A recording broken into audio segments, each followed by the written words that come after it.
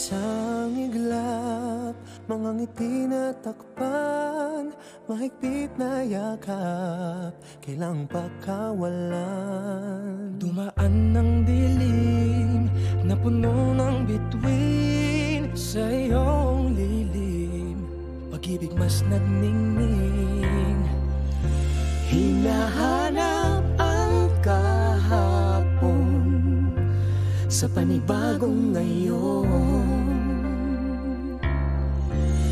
Marami ang nagbago, ngunit di ang pagmamahal mo.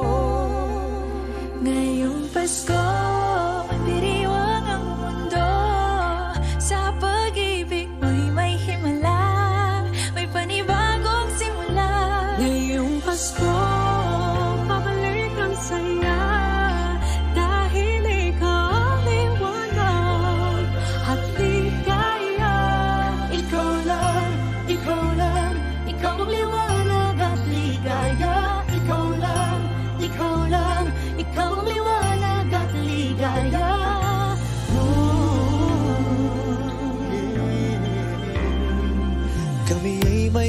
likas na harapin ang bukas.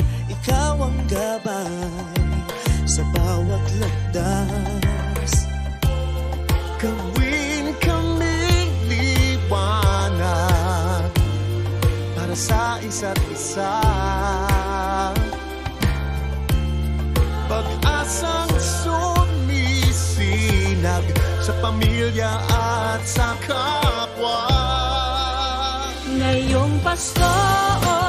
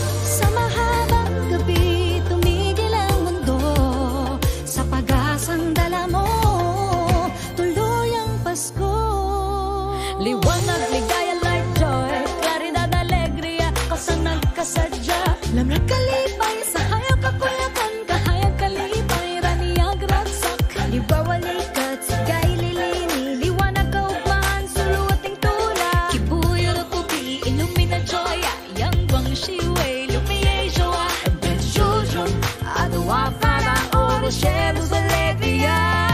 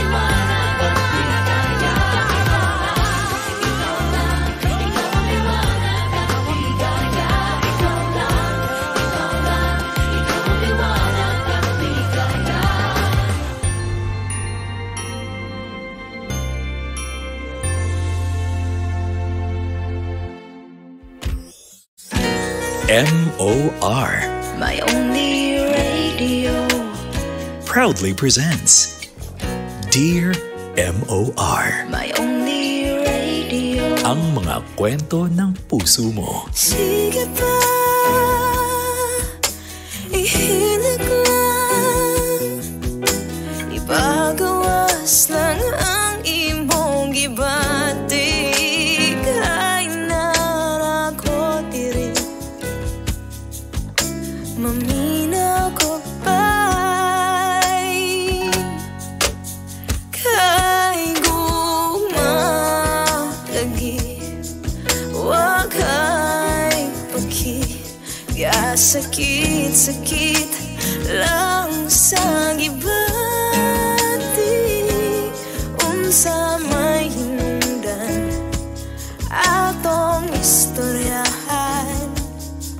Ito ang My Only Radio at ang pinapakinggan nyo ay Dear M.O.R. My only radio Gugma pa mo OMG! It's Jackie G! No? Nagkaon mo lamon. Ni mo nagitik sa nagmerpo kay Bagti.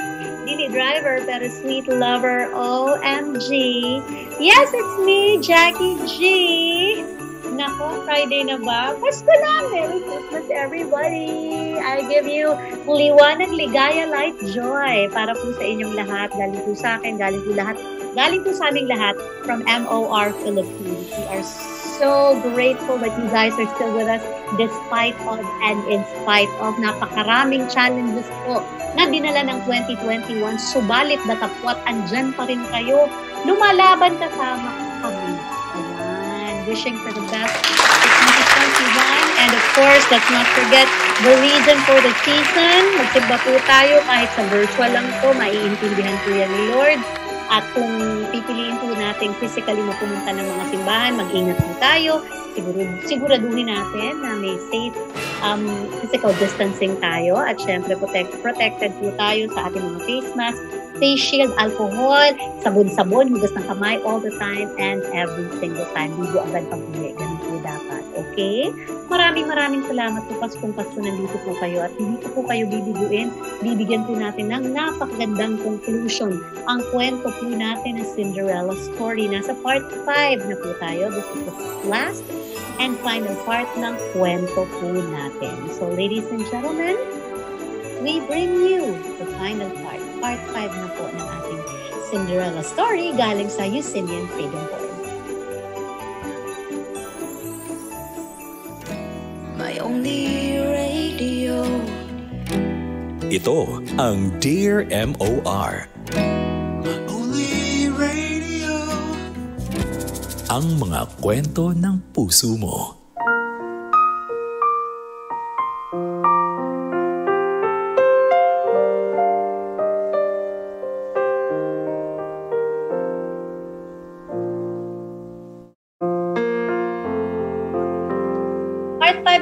Natin ng ah, Cinderella story. Cinderella story. Nagsimula po tayo ng lunes. So, Monday to Friday po ito. Itong kwentong to. Mahaba po siya pero it's really worth the listen, worth the read. So, I hope you guys will enjoy it as much as I did. Um, basahin niyo po muna yung, ah, pakinggan niyo po muna yung first four parts, okay? Hanapin niyo lang po yung hash, ah, yung Cinderella, Cinderella story. Nakapost naman po yan sa mga pages na binabasa niyo to. Kung saan niyo to binabasa mula po Monday hanggang ngayon, Friday, Christmas Day. So here we go with part 5 of the Cinderella story. Please, huwag niyo po akong i-bash. Besides, huwag din po kayong magmamalinis. Sige, start na tayo. Mas mauna pa akong nagising kaysa kay Carlo. Pero kunyari, tulog ako. Nagtutulog-tulugan kasi hindi ko maintindihan ng whirlwind na nangyari nung gabing yun. Hindi ko alam kung paano ko aasta sa harap ni Carlo. Paano ba maging normal pagkatapos ng isang napaka-abnormal na gabi? Hindi ko ma-imagine na nakita niya na ako from head to foot. Walang laktaw. In the middle of that thought, na-feel ko na gumagalaw si Carlo. Niyakap niya ako. OMG! Tumatayo mga balahibo ko sa buong katawan ko. Pero pigilan ang sarili ko. Dali-dali akong bumangon. Hinanap at sinuot ang mga damit ko. At pumunta ng banyo. Tagal ko dun. Pinakausap kong sarili ko sa harap ng salamin. Pagbukas ko ng pinto, andun si Carlo.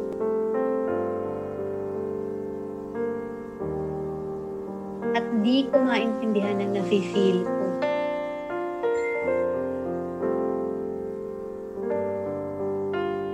Para akong pinagpapawisan ng bongga kahit ang lakas-lakas ng aircon.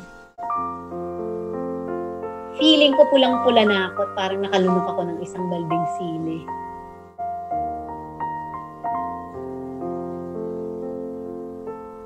Lang yung mata ko dahil hindi ko alam kung anong sasabihin ko. So galit-galitan ng drama. Alis ka nga dyan! Ba't nandyan ka sa harapan ko?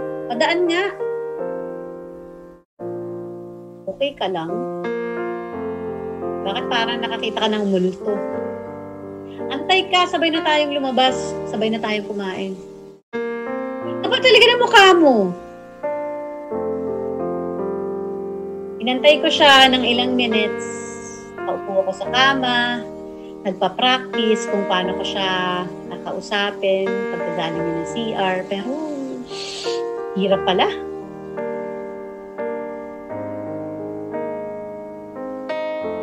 After what seemed like years, sa ilang minutes lang pala lumabas na, lumabas na siya galing ng banyo. Di ka na, kain na tayo. Pinutom ako kagabi. Sabay kidnap. Ano? Gan, gan, ganon? Gan, ganito na lang ang setup? Parang, parang walang nangyari?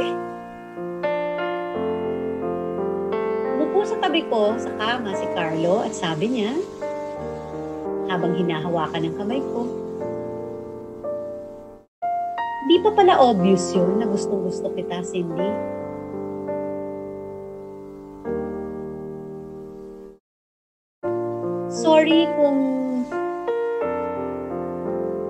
Nagawa natin yun kagabi. Pero willing akong panagutan kita. Sasabihin ko kay mami ang lahat. Total, di na tayo bata. Carlo, please, wag. Wag na wag mong gagawin yan dahil baka hindi ako pagtapusin ng mama mo. Sige. Ikaw bahala. Basta at the right time, sasabihin ko kay mami. For now, tara na, kain na tayo. Sabay kaming lahat na kumain. At ang isa kong classmate, aba, nagsalita. Saan ka pala natulog kagabi, Cindy? Bakit parang wala ka sa room? Sumabat si Carlo. Sa kwarto ko siya natulog. Doon na nakumpisa ng mga ay. Kayo ha? Baka iba na yan sa inyo ha?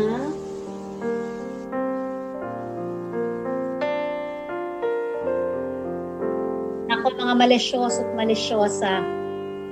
Suka kasi ng suka to si Carlo kagabi. Tinamaan ko sa kwarto, baka ano pang mangyari, lagot ako sa mami niya. Kaya doon na rin ako nakatulog. Habang si John nakatutok sa akin para akong matutunaw. Pauwi na kami, nag-insist yung classmate ko, doon na lang ako sumakay. Awkward pa rin. Si Carlo nag-insist na talaga na doon ako sumakay sa sasakyan niya.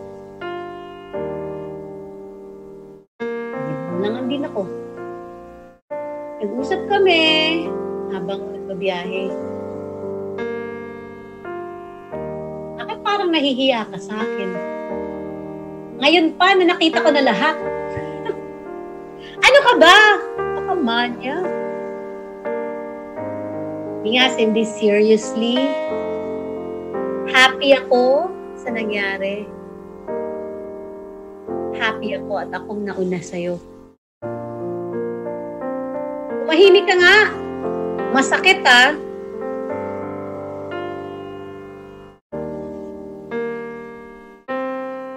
Actually, Cindy, first time ko na ako yung nauna sa babae.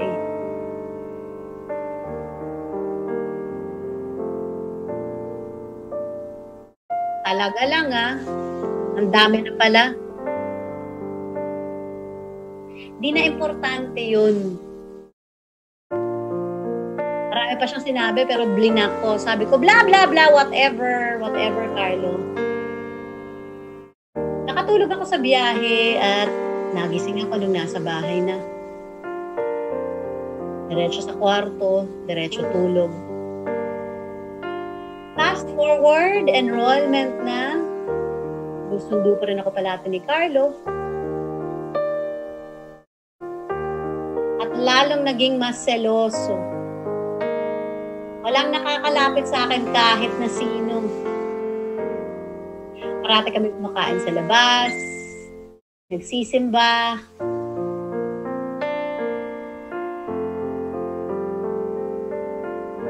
Pero hindi pa rin alam ni Ma'am Maricar ang kapatid niya. Oo, ginagawa namin sa bahay habang tulog ang mga. Bahala kayo kung gusto nyo kaming i-judge. Basta, in love kami.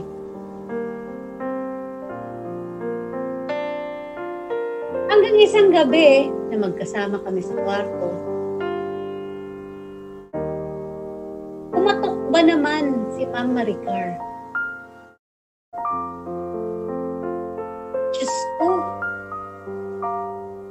Tumahimik kami ng bongga para kunyari tulog na ako. Di kami nabuking nun. Fast forward, pareho na graduate ni Carlo. Mas una siyang nakahanap ng trabaho. Pag-graduate na pag-graduate ko, sinabi ang lahat ni Carlo sa mama niya at sa kapatid niya. Gusto niya nang magpakasal kami. Ang maganda doon na talagang hindi tumutol si Jazz at si Mama Ricar. Boto sila sa akin. Umi umuwi ako sa amin para humingi ng tawad sa mama ko dahil sa paglalayas ko. Iyak ng iyak si mama. Natuloy ang kasal. Pinakasalan ako ni Carlo sa Boracay. At doon na kami ng honeymoon. Ngayon, masaya kami nagsasama. Mahilig kami mag-travel. Nagtatrabaho ako sa isang kilalang bangko dito sa Cebu. May dalawa kaming anak, lalaki at babae.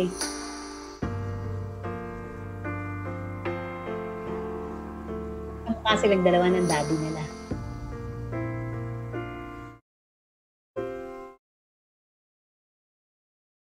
Ito na ang happy ending namin. Wala na pong part 6. Basta nagsasama kaming masaya. Oo, may trials. May misunderstandings. Pero talaga, no, pag may love and respect, lahat malalampasan. Oo, nag-umpisa ako sa kanila bilang katulong.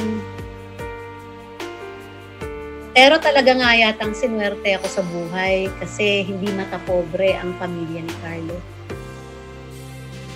Inanggap nila ako ng buong buo. Mahal ako ng mami niya at ng kapatid, kapatid niya na parang talagang kadugo nila.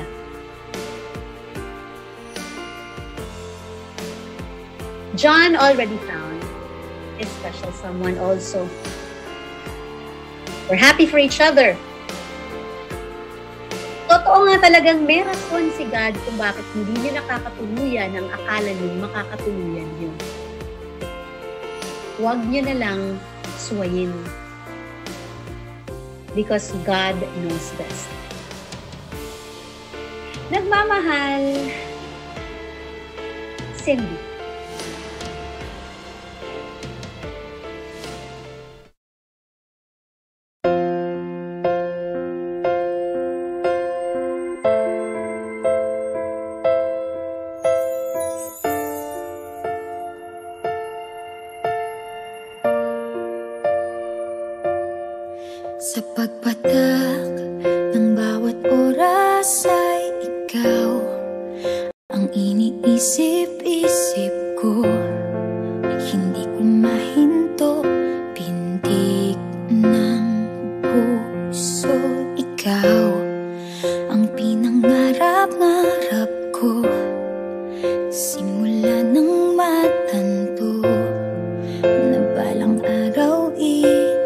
be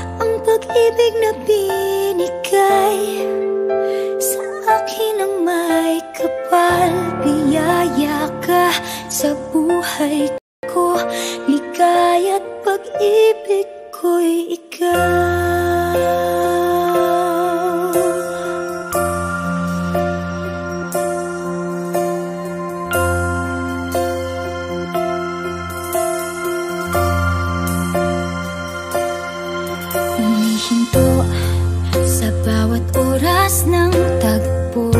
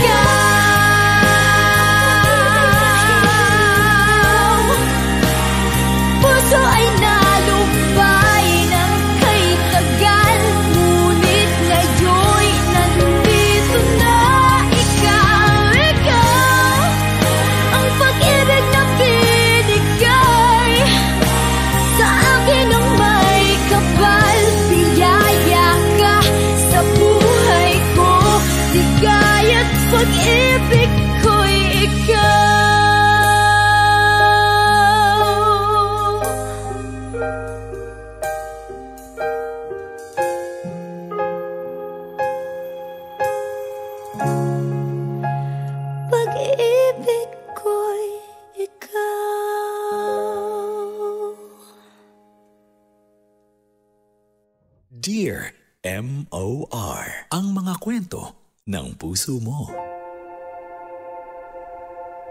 OMG, I'm so kilig. Ah, diba? Oh my gosh. Si Cindy po ang ah, sumulat nito sa Ukrainian Freedom Board. Nagsimula siya sa hirap, walang-wala. She found love. Nakagraduate siya ng college. Basically, her dreams came true.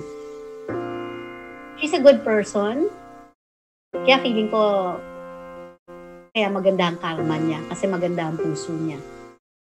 Kaya tayo pong lahat, kahit ano po yung hirap na pinagdadaanan natin, kahit po masyado na tayong nalalagay sa alanganin ng hindi naman natin kasalanan, let's all remember that the giver of life, siya po talaga ang may alam kung ano po ang dapat na para sa atin. Let's not question our faith, but let's work towards reaching our goals, our plans, our hopes, our ambitions. Dasal po tayo habang ginagawan po natin ang paraan para magkatotoo ang mga gusto nating maabot sa buhay na to and beyond. I wish everyone ligaya, pag-ibig, peace, prosperity, all the good things in this life and the next. I hope you guys are with your family and friends. Kami po ang inyong family and friends online and hopefully soon on air again. From MOR Philippines and Jackie G, saying Merry Christmas and a Happy New Year. Liwanag, ligaya, light, joy para po sa inyong lahat. Merry Christmas. Love you all.